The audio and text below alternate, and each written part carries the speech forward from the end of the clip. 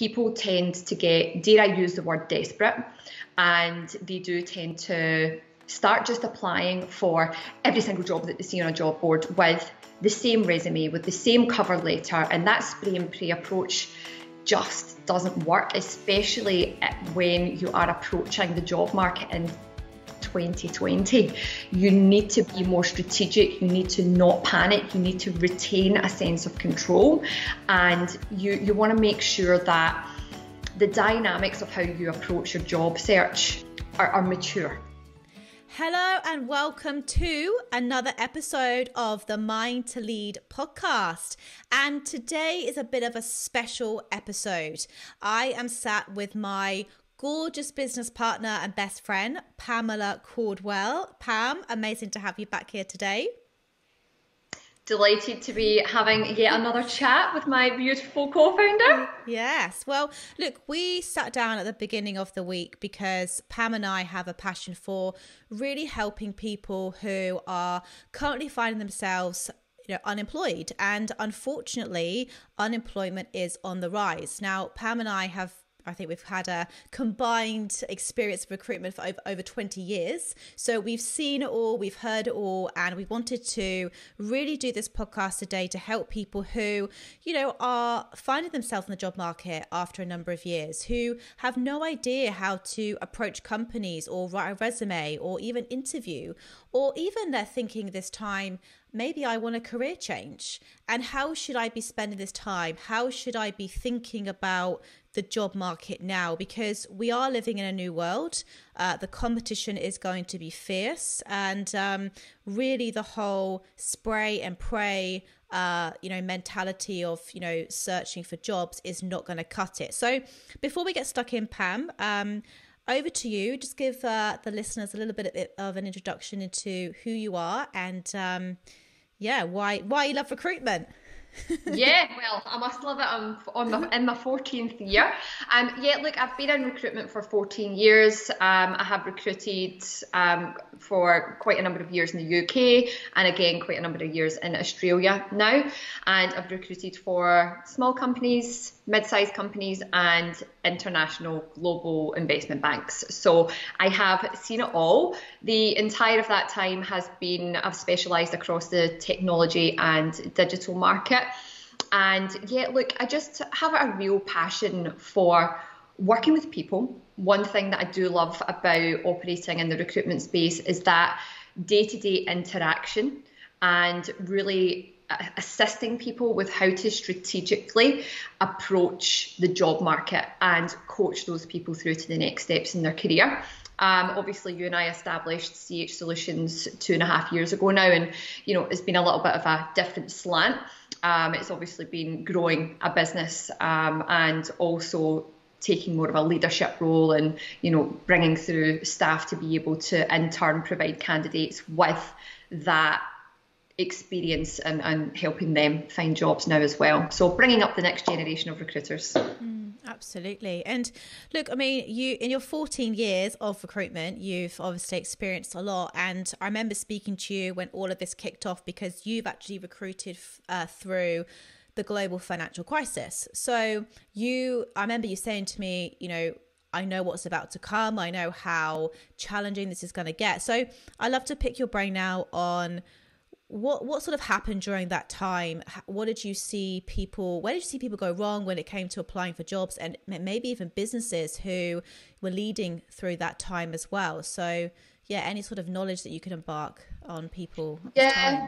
you know I, th- I think when you've actually recruited through a time like that the good thing about having that experience is that i have weathered the storm and when you're in the thick of it it's a very challenging time. Uh, but you do come out of it. And it's about keeping the faith and being able to ride the wave of, of what's to come. And ultimately, there's going to be a lot of challenges ahead. I think being at the front of recruitment at a time when you you you find yourself in the midst of a recession, it can actually bear quite heavily on you. You know, you are speaking to people that have lost their jobs. They've lost that. They've lost that security of the income um, that they're used to securing you know you're you're potentially dealing with sole earner families, you know, and you're speaking with um, women or men who are the sole income earners for their families and all of a sudden that's being pulled away from them and they find themselves on benefits. And you know as a recruiter you, you find yourself in quite a unique position where you really need to strike that balance between you know acting as a bit of a a coach, you know, a bit of a life coach. You know, you need to be able to utilize those skills to be able to really truly listen to people, the situation that they're finding themselves in, and help know that you're truly adding value to their job search and, and, and making sure that you're really matching them, you know, in a way that, that that's truly going to help them. So it, it as a recruiter in times like this you know you're you're you're really utilizing a lot of different skills because you are that bit of a life coach and a career coach as well. Um, and it's just about marrying the two up. But i think it's it's definitely what what i did find throughout the, the gfc is that people tend to get, dare I use the word desperate, and they do tend to start just applying for every single job that they see on a job board with the same resume, with the same cover letter, and that spray and pray approach just doesn't work, especially when you are approaching the job market in 2020. You need to be more strategic. You need to not panic. You need to retain a sense of control. And you, you want to make sure that the dynamics of how you approach your job search um, are, are mature. You know, you, you want to present yourself in the right light. And in times of desperation, people do tend to panic. So that's one of the things that I do remember about the GFC. I would see the same person coming through and just time after time, every time there was a job posted with the, with the same the same approach, and and that doesn't necessarily work. It's not the best way to market yourself. Mm.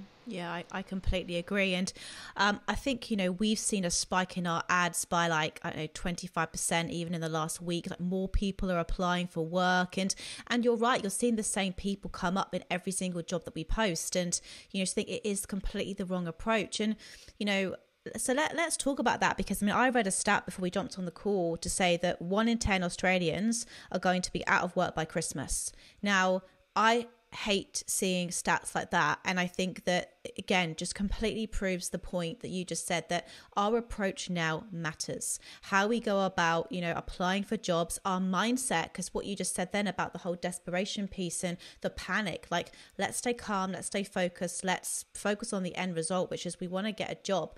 But I also think it all starts with the whole mindset piece and the belief in, I can get this job. I am capable. I, you know, what can I do day to day to to boost that self belief? And you know, I think one thing that everyone I would I would advise people to be doing right now is upskilling themselves. Spend some time researching what are the trends. You know, like what is going to what do companies need right now? You know, like and and let's just talk to that. Like if we had somebody reach out to us right now, let's say a recruiter was was listening to this and they found themselves out of work what would what would you like to see if you had somebody message you today on LinkedIn? What would like be a good approach that would get your attention?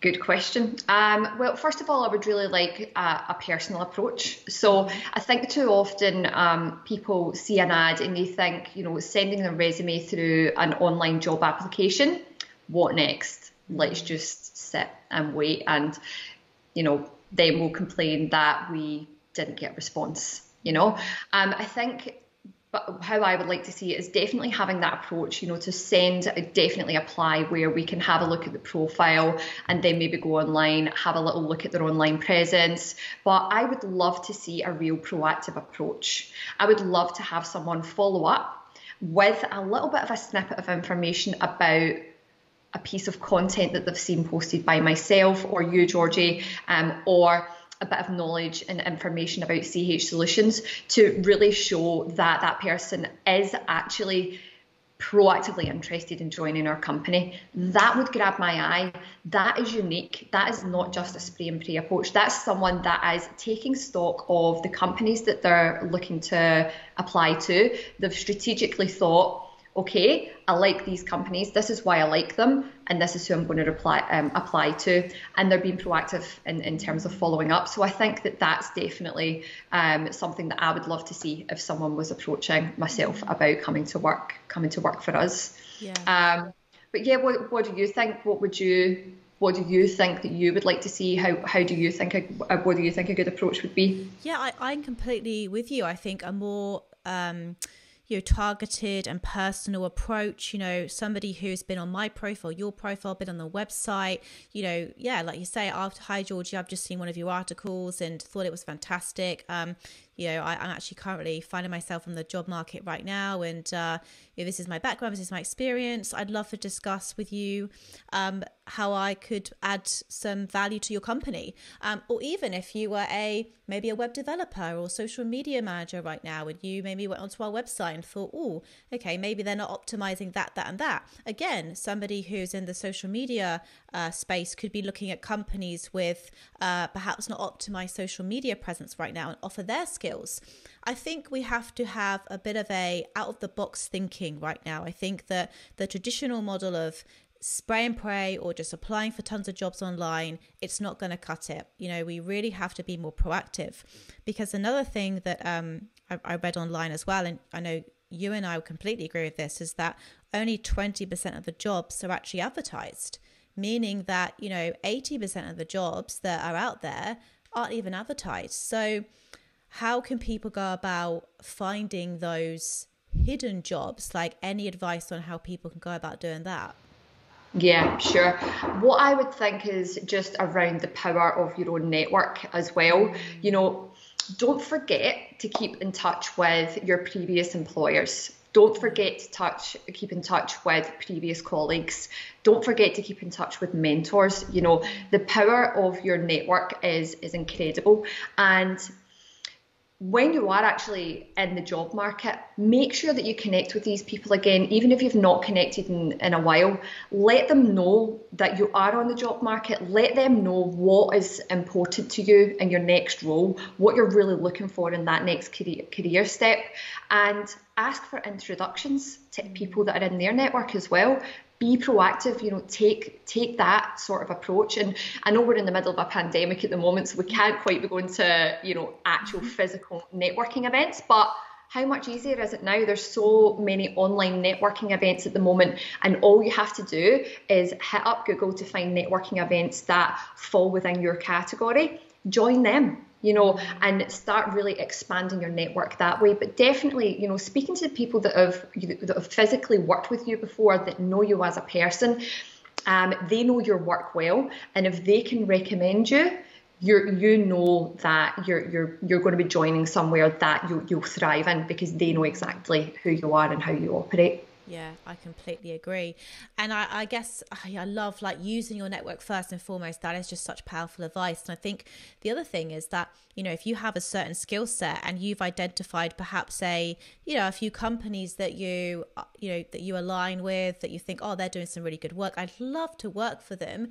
Don't forget that every single company right now is no one has the answers. Everyone's pivoting, everyone's thinking about how they can innovate and really make sure that they thrive through this. So this is this could be your opportunity right now to reach out to that company that you've always wanted to work for and offer some value. Uh, reach out to the directors or the HR directors or even some of the senior team and say, "I've always loved what you guys do.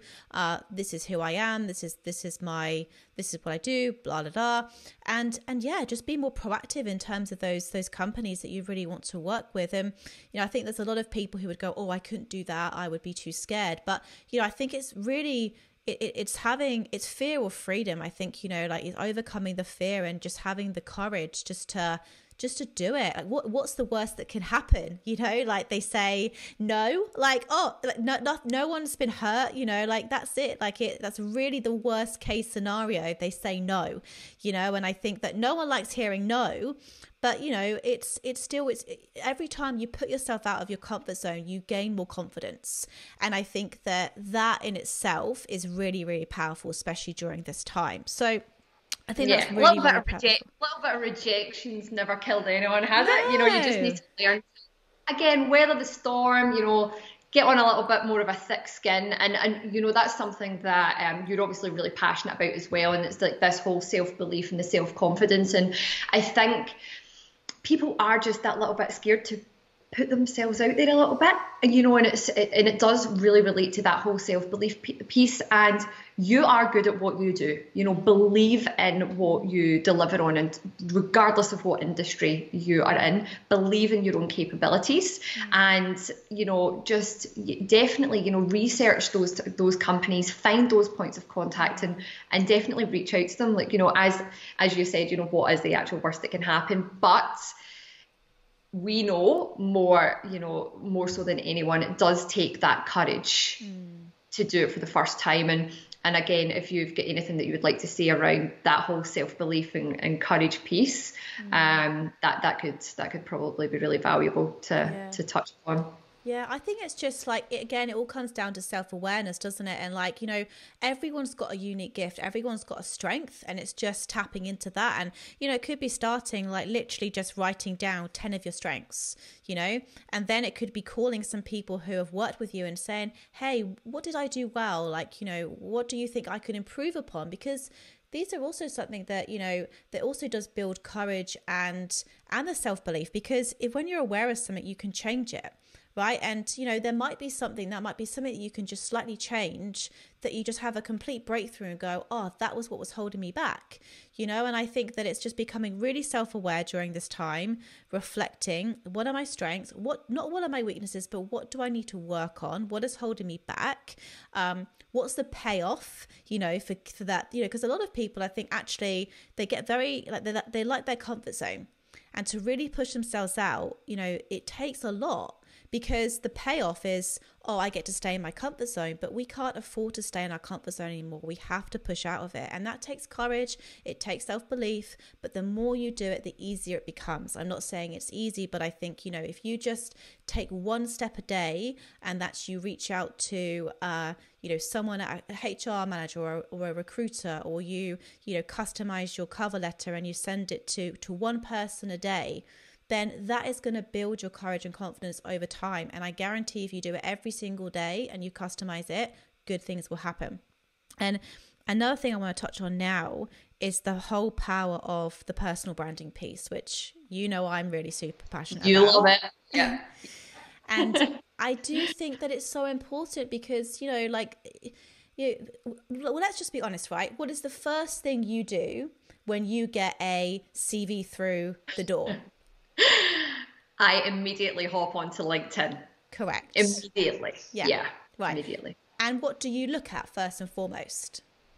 Look, first and foremost, I actually look at the picture and mm-hmm. the the the profile at the top of your LinkedIn profile. That so more so the about you piece. Correct. That would be the first thing that I would look in. And genuinely what what I'm looking for is like a real meaningful and substantial LinkedIn profile to see, right, who is this person mm. beyond the resume? Mm. That is and that slams you with first impressions. Correct. Okay. And and first impressions last. Mm-hmm. So I think people have underestimated the power of their online presence mm. and the power of a personal brand. Mm. And I definitely know personal branding is something that you have been incredibly passionate about, and it is very forward thinking. Um, so, in terms of how do you, how, what would what would your advice to be for someone that really hasn't thought much about their personal brand? What would be the first steps that, that you would you would you would recommend to them? Mm. Well, the first thing obviously is you need to know like what you're passionate about and what you stand for. You know, so let's just say if you are a I don't know, a software engineer, right? You want to be known as the expert in that field in your area of expertise right? So i would be thinking about you know making sure that i've got all, any awards that i have won on there. I've got testimonials on there. I've got a really good bio that says exactly what i do and what you know who am i you know my key skills. And then i would be looking to engage um, on on the on LinkedIn or whatever platform that I was using. So I would be going on and you know following certain hashtags like for example development and I would be going through and adding value to the marketplace. I would be posting, you know, maybe um, you know, some some value pieces, whether that be a blog, a video, uh, you know, even just some text. But I would just begin. I think the thing is with personal branding is people that they they could spend weeks and months and years thinking about who am I, what do I do, what, how do I start. The, the, the truth is just begin. You really can't go too wrong. And I think if you if you are unsure what to post, just do a bit of research of who's posting what in your industry.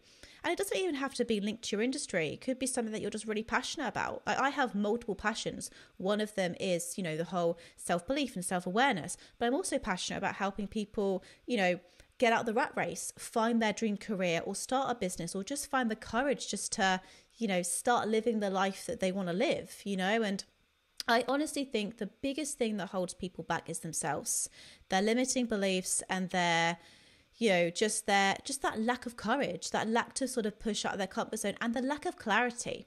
So i just think out of everything one thing this pandemic is teaching us is that everything can be stripped away right? We can lose our jobs we can lose you know you know our, our homes i hope not but like there's lots of things that can be taken away but the one thing that we'll never lose is ourselves right? So your personal brand now more than ever is the one thing that people can't take away for you. And if you are investing time in offering value to the marketplace if you are showing up and you know sort of yeah offering value and being seen I really don't think that too much, nothing bad can come from that, providing you're not posting crazy content that's you know well, well, that's as well you know is uh, in terms of like linkedin specifically that is a professional networking site and mm. if you are just starting out what you know what courage could mean to you for just starting out is sharing a post yeah. share something. share an article from someone else or another company or another industry expert that you feel would add value to mm. the network that you have on your LinkedIn profile. So it doesn't have to be, you know, you know, we're, we're not by any means suggesting that you go out there and start writing mm.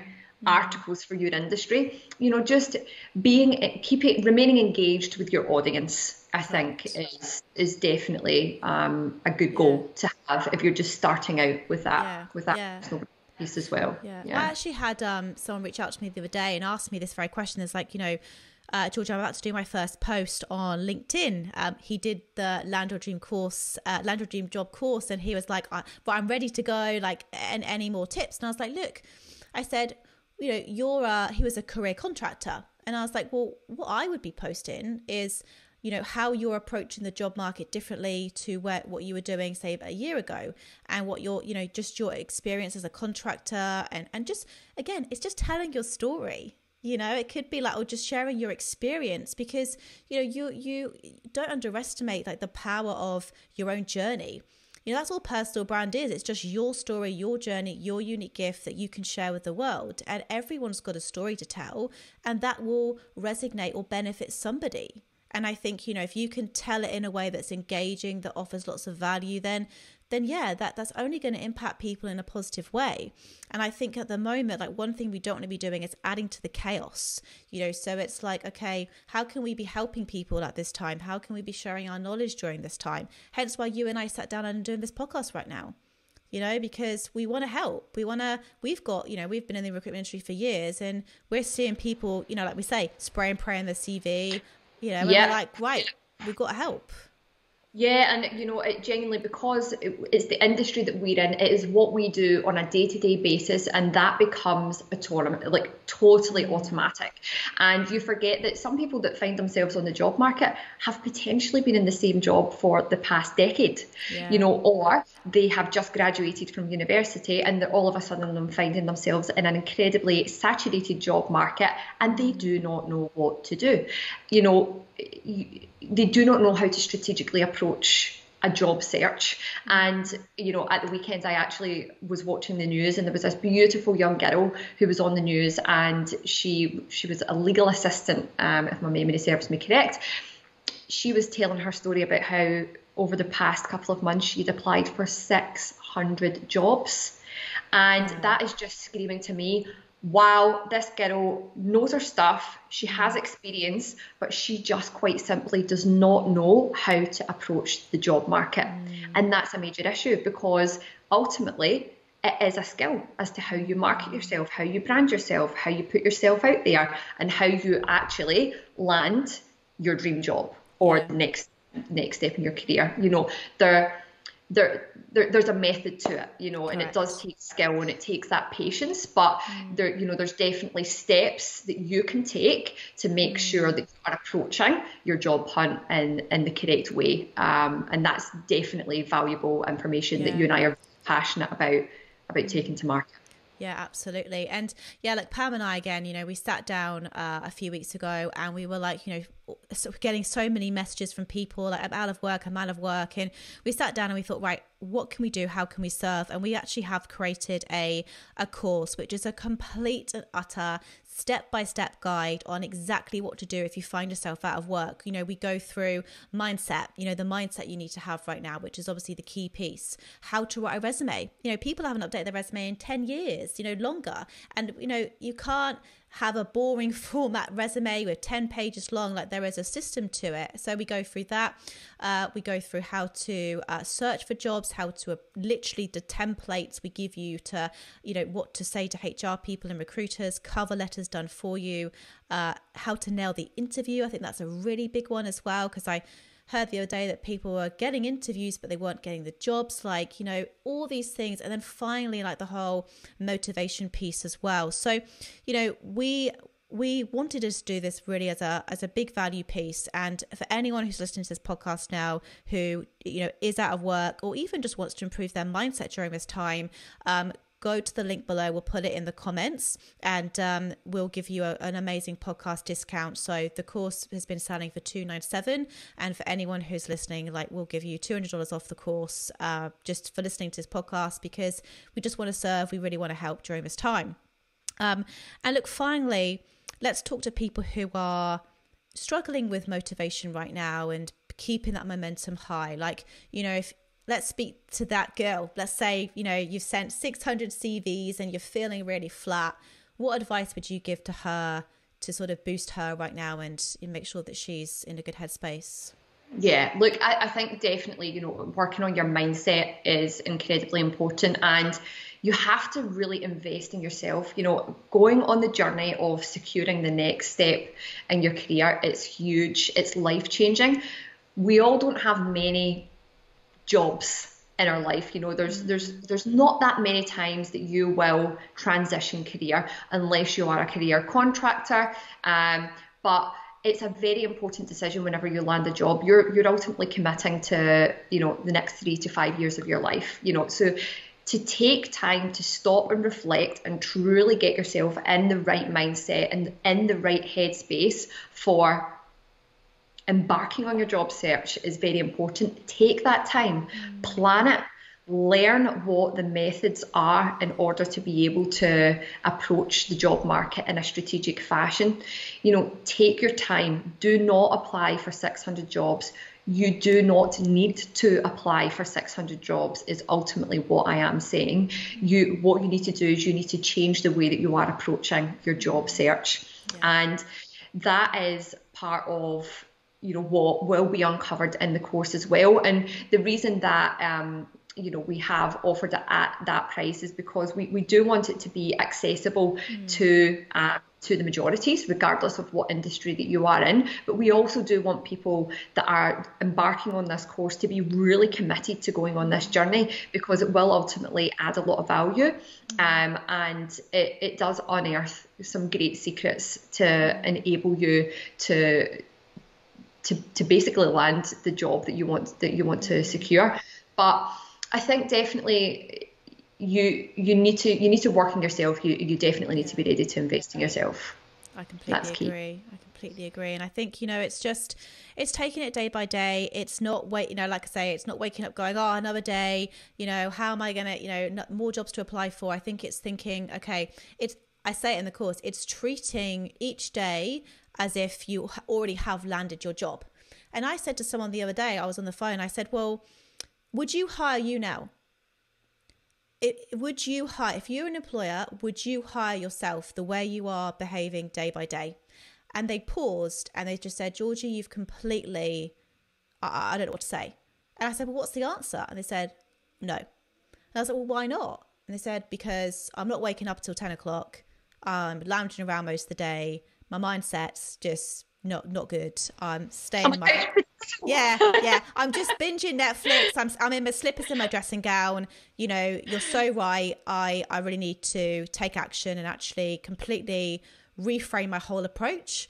And it was just that breakthrough that they needed. They were like, wow, I'd not thought about it that way before. So again going back to the whole mindset piece this is why your approach matters this is why you know how you wake up every day the thoughts you think you know and and making sure that you are thinking powering thoughts because i i do truly believe what you give out is what you get back and if you're starting every day going oh you know, I've sent hundreds of CVs and I'm not going to get a response. You're not going to get a response. And when and then when you go onto an interview and you are speaking to hiring managers or HR directors, if you're not in a good space, if you're not in a really good uh, emo- emotional state, they're going to pick up on that. You know, even online, you know, people can feel people's energy through the phone, via Skype. Don't ever think that you can get away with just you know bowling into a an interview 5 minutes before without doing any sort of you know state change you know you can't just roll out of bed and get jump on an interview in the morning you have to get in the right frame of mind because right now you're probably in, that hr manager is probably interviewing 20 people you know who they're going to hire they're, they're going to hire you you know who just jumped out of bed you know as low energy or they're going to hire you know, John Smith, who came to the interview nice and prepared, well researched, well presented, and in a really bubbly mindset, they're going to hire that person. And this is the thing, this is being massively overlooked. And I know it's really hard because you, it's so easy to get yourself into a rut, but you've really got to work on yourself now more than ever and think, okay, mindset's crucial. How can I get myself into a good state every day? And, I, you know, there are things that you can do, and I won't go into all of them now, but, you know, I think it does all start with how you show up and like you said beautifully, be investing in yourself now more than ever is absolutely crucial. So yeah, yeah, yeah, absolutely agree. And you know, you you ultimately you need to implement these strategies into your day-to-day life when you are approaching your job search so there's strategies that you need to implement for personal development and you need to marry them up with strategies that are going to help your career progression so absolutely, it's a blend. I completely agree. It's an absolute blend of the two, and if you get both sides of it right, mm. it will come together beautifully. Completely agree, Pam. I mean, it goes without saying, I absolutely love chatting to you. We chat multiple times a day. I love anyway. yeah, yeah. So I really hope especially that... Friday afternoon ones with wine. But yeah, absolutely. Um, well, look, um, I really hope that everyone listening to this has got some amazing takeaways. Look, if you are listening to this and you're out of work, go and check out that course because it really is, uh, you know, the blueprint of how I would go about landing a job right now. And you know, even if you listen to this podcast and you just take one thing from it, just just really make sure that you are getting in the right headspace every single day. Your mindset is key right now. Don't lose faith and. Um, keep on putting yourself out of your comfort zone keep on taking that proactive approach because that is the that's the new norm and we all just have to accept that this is the new world we're living in and the more we resist the more we're going to suffer so Pam, amazing to have you on. Uh, for all of my listeners out there, if you did love this episode, please go and give it a rating. I love seeing the reviews, so please do that now. And I look forward to hopefully coaching you all on getting your dream job. And uh, stay positive, stay strong, and I will speak to you again soon. Take care. Thank you so much for listening to the Mind to Lead podcast. I really hope you got some great takeaways and key learnings from this episode. To help us spread the message, please give us a rating and leave us a review. We love reading your thoughts and your insights and your learnings. And look, reach out to me. Reach out to me on LinkedIn. I'm Georgie Hubbard. Reach out to me on Instagram. I'm Georgie L. Hubbard. Let's connect. I hope you have an incredible day and I look forward to speaking to you all again soon.